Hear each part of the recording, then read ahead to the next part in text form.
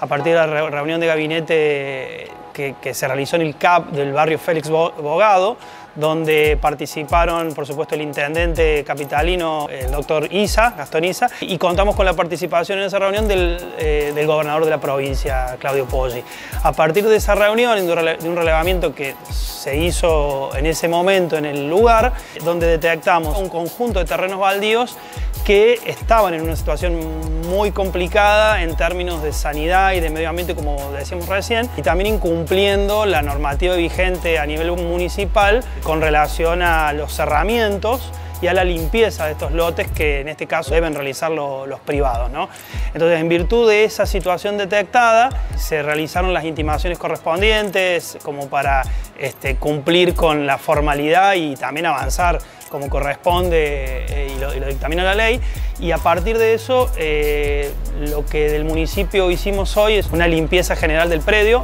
Eh, comenzaron a trabajar a las 8, 8 y media de la mañana y eran las 11, 12 del mediodía y todavía se seguía trabajando. Se generó una situación ahora de limpieza, lo que estamos pidiendo sobre todo a los vecinos de allí del, del sector, que por favor